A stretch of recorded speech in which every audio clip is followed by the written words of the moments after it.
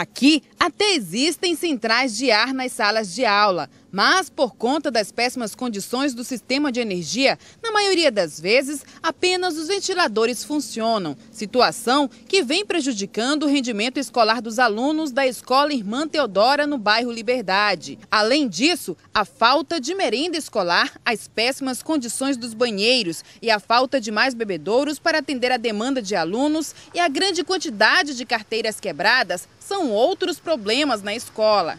Problemas que foram passados para a Secretaria de Educação através de um documento entregue pela escola ainda no mês de outubro e que até a tarde dessa segunda-feira não havia sido atendido pela CEMED. Inconformados com a situação, educadores, alunos e pais de alunos decidiram protestar no intuito de serem atendidos, com cartazes, faixas e até folhas de cadernos com frases clamando por melhorias. Eles realizaram uma reunião no prédio da escola na tarde de ontem convidaram o secretário de Educação, que dessa vez atendeu o pedido da escola. É, vamos saudar todos, acho que é um momento importante né, da gente dialogar, parabenizar todos os alunos que estão aqui, querem melhorar né, os espaços, estão reivindicando.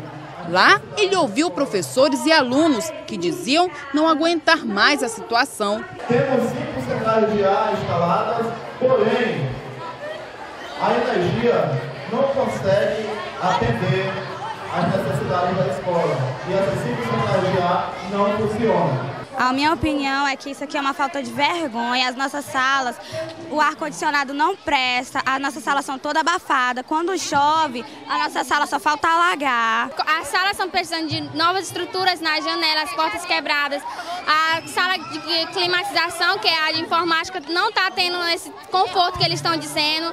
É, os banheiros também estão precisando de nova estrutura. Para a nossa equipe de reportagem, o secretário falou como é vista as reivindicações e como pretende atender algumas delas. As reivindicações são muito interessantes da comunidade no sentido de melhorar as condições da, das escolas.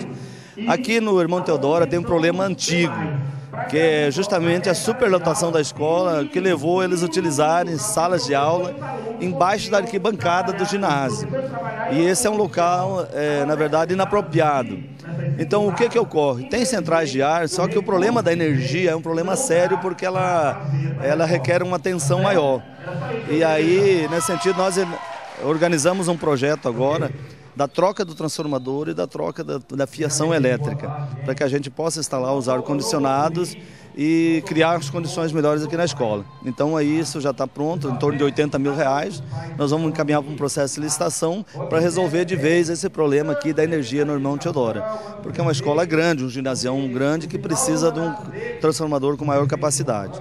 Outras questões de reivindicação, como a questão da merenda, já está regularizada, é, a questão também de cadeiras, nós vamos estar repondo ainda nesse semestre cadeiras nesse sentido.